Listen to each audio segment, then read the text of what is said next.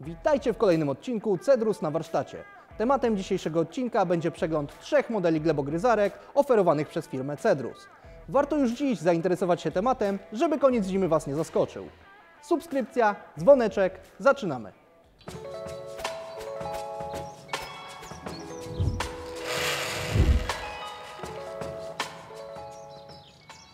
Przygotowałem dziś dla Was trzy modele glebogryzarek.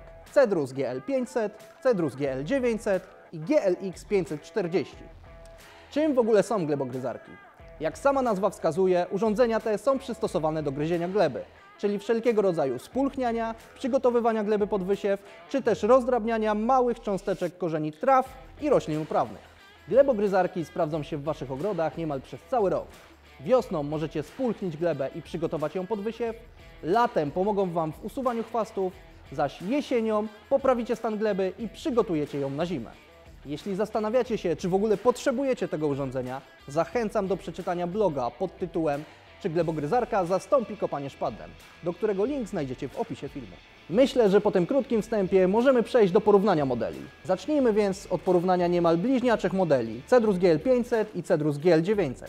Najpierw omówimy ich cechy wspólne. Noże robocze stanowią jednocześnie element napędowy obu urządzeń. Możliwa jest regulacja szerokości w zależności od liczby zamontowanych kompletów noży. Możemy regulować wysokość uchwytu, tak by dostosować ją do wzrostu operatora. Oba modele posiadają dwa biegi do przodu i jeden do tyłu.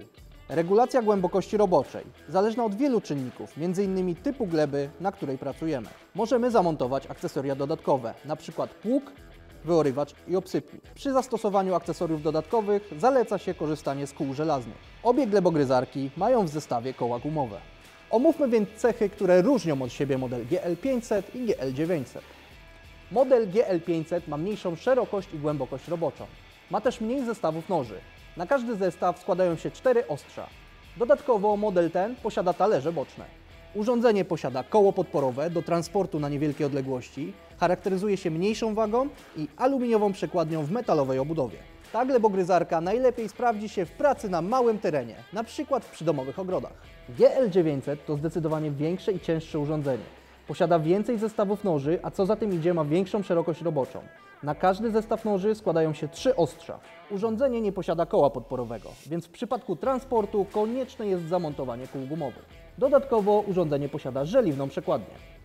Ze względu na swoją charakterystykę model GL900 lepiej nadaje się do pracy na większych terenach, które są bardziej wymagające.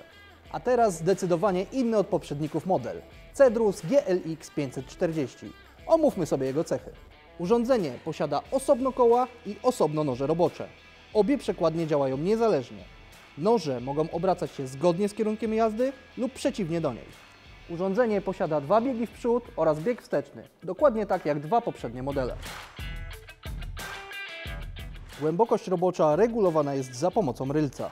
Uchwyt możemy regulować w zależności od wzrostu operatora.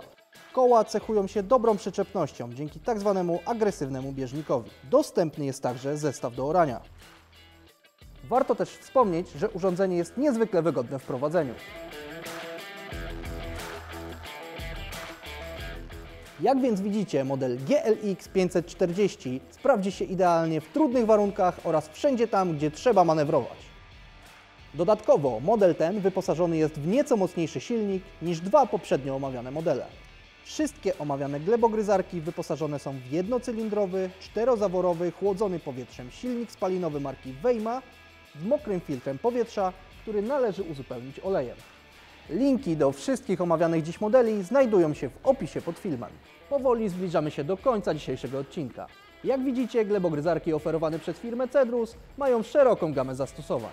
Jeśli wciąż wahacie się, która glebogryzarka będzie idealna do Waszego ogrodu, nie wahajcie się dać znać w komentarzu, a z pewnością odpowiemy.